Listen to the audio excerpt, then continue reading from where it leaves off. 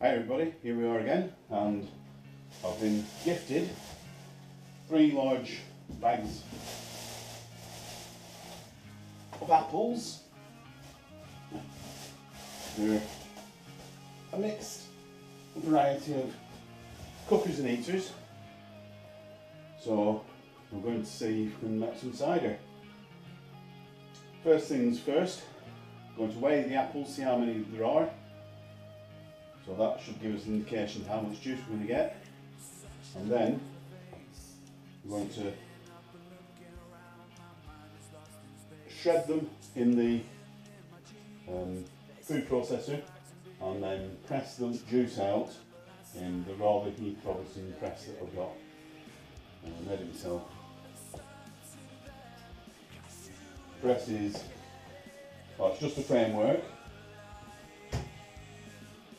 Uses a six ton bottle jack. I have got an eight ton one as well. Um, but to be honest, the 8 ton one tends to bend the framework a little bit, so to stick with the 6 ton. And to be honest, you get very little juice extraction between 6 and 8 tons.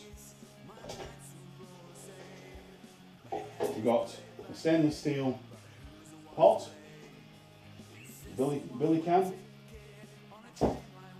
couple of blocks of wood, the outer of a wheel bearing, that's just as a spacer because I have a polythene um, top for the can which fits in after you put the crushed apples in. Is a close fit to the, to the pot. To put it in sideways slightly due to the rivets on the, on the handles. So I'll let you look at that. That's how close the tolerance is. So it's not a million miles away. But we've got a bolt through the centre because when I first made it, it didn't have.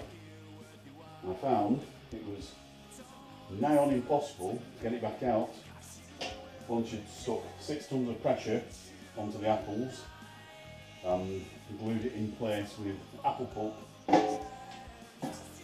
Underneath, another piece of polythene with a groove down the centre that I routed into the uh, into it. It's all sat just on a cheap workbench. Billy can sits on there, that sits over there. Fermenting, fermenting bin sits underneath, collects the juice.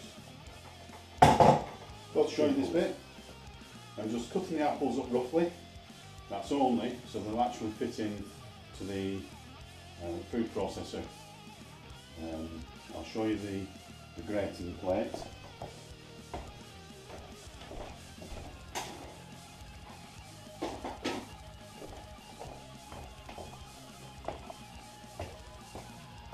So this is the plate that we're using.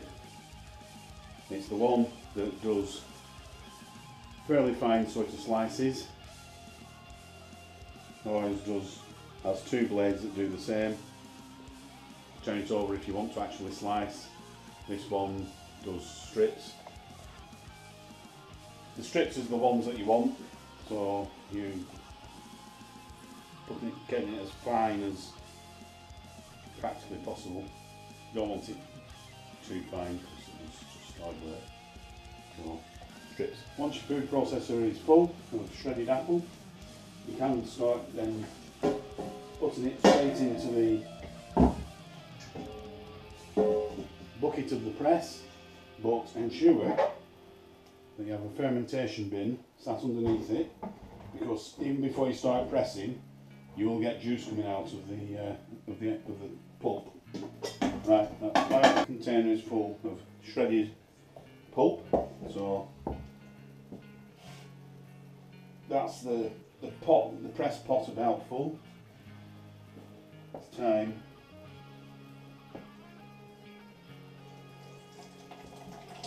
might do a first manual press, might be able to get a second, and oh, sorry, no, a sixth.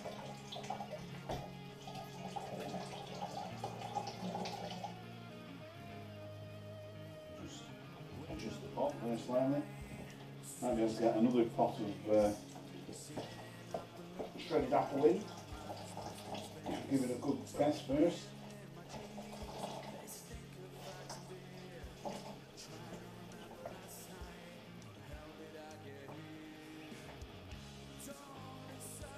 Wash my hands.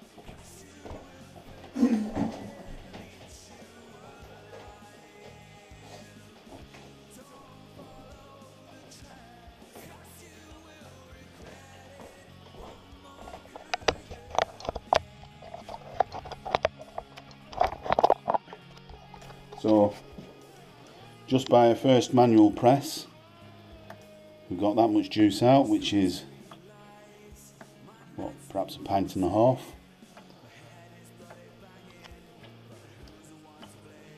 And I think I should be able to get another container of pulp in so I'll do another pulp and then we'll do a first press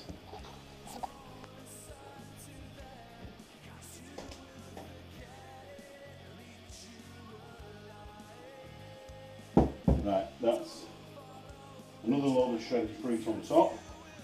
I'm hoping I can get the, uh, the press plate back in because that's looking pretty full. If we can't, I'll have to dig some of the fruit back out again. But I'm hoping that's going to go down.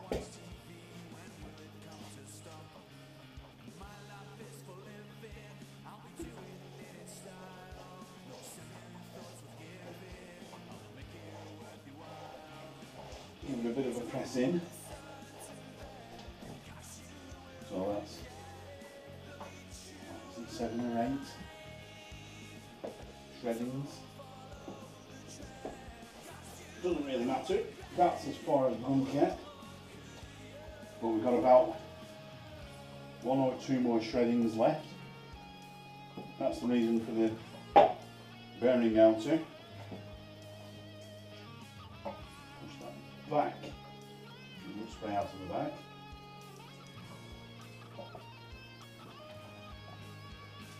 And then get one block on there, I think.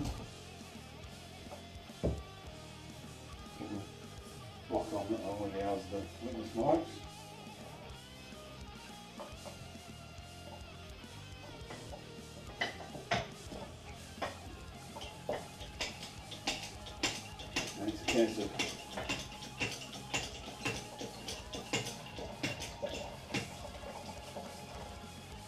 Right, so I've got the pressure on the jack.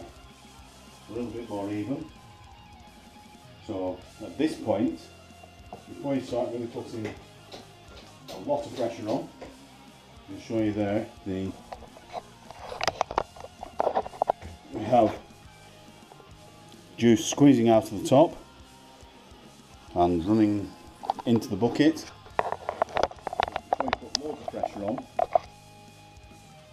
cover everything up.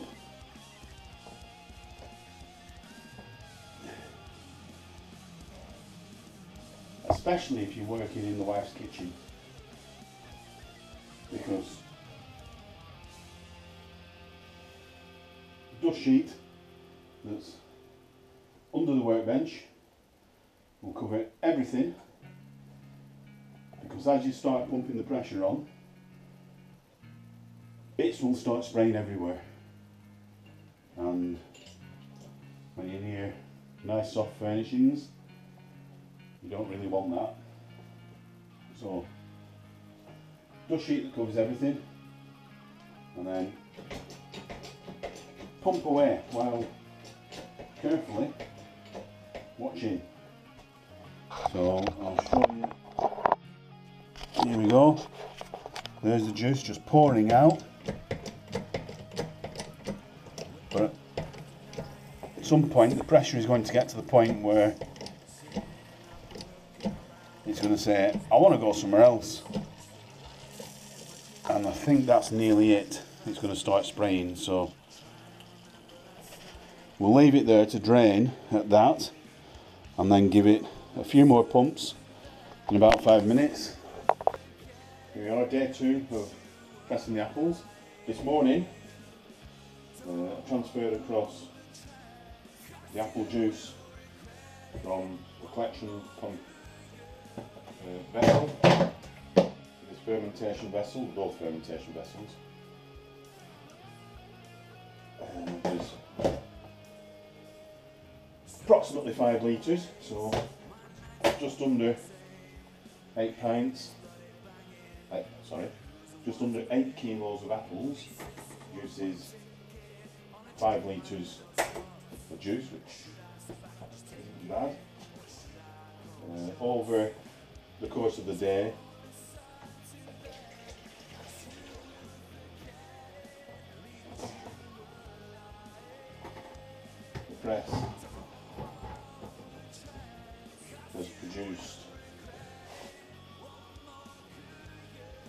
just over 200 mils more.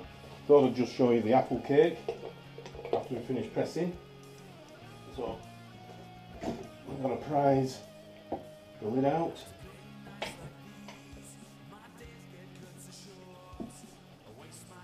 That is pretty much solid.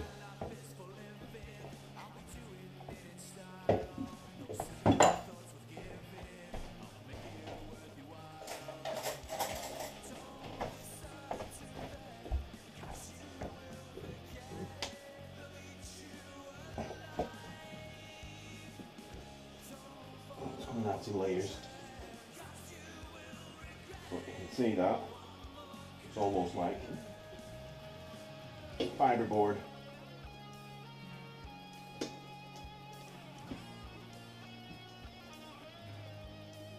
Pretty much dry, and that will just go straight into the green bin. Go and get composted. Finished shredding and pressing the apples, and about 29 kilos of apples, which yielded 15 litres, which I think isn't bad. Uh, specific gravity is 1040, so I'm just going to pitch the yeast at that. That should come out at around about 4%ish, which is fine by me. I don't want strong cider. Don't like prefer sessional beers, sessional drinks rather than anything that's going to blow your cap off. Right, so we'll be back in a week's time after it's fermented or so. Hi everybody, here we are again. Quick update on the cider. Um, you'll see perfectly clear in the glass. A nice pale pinky orange colour. Unfortunately, a little bit stinky on the nose. Uh, that'll be my own fault. I used Tronozymol, best yeast nutrient, sorry, the best yeast nutrient that there is on the market. Uh, well, that you don't make yourself perfect for making wine. If you want to, certainly a strong wine, or you've got a stuck wine, Tronozymol is the way to go. It will generally sort things out. But one of the ingredients is magnesium. Magno, um, can't speak. Magnesium sulfate. Now, that will most likely translate to um, sulfur dioxide rather than carbon dioxide that yeast normally produces. So, a rather stinky beer fart, shall we say. It's actually not as bad as it first was a couple of days ago in, in the barrel, but yeah, it's still got a slightly can't beat the bones about it. It's got a rotten egg smell. Taste wise, it's alright.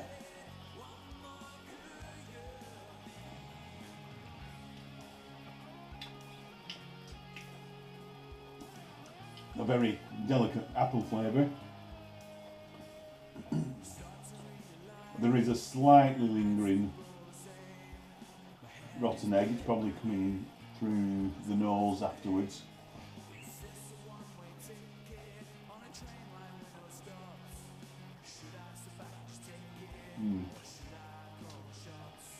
Drinkable. It would have been better without the yeast nutrient. Never thought about it at the time. It's absolutely fine for winemaking. The professional formula for discerning winemakers. Well, that's because after it's finished fermenting, before you uh, uh, rack it, you have a tendency to degas wine, thereby knocking all the sulfur dioxide out of the uh, out of it. Unfortunately, I didn't degas the cider because you tend not to do that. You try to keep it because it's like a like a beer, and you tend to try and keep all of the gas in that you can. So, mm, delicate, interesting aroma on the nose. It's drinkable, as I say, it's nice. Just don't sniff it. Right, so I've got about another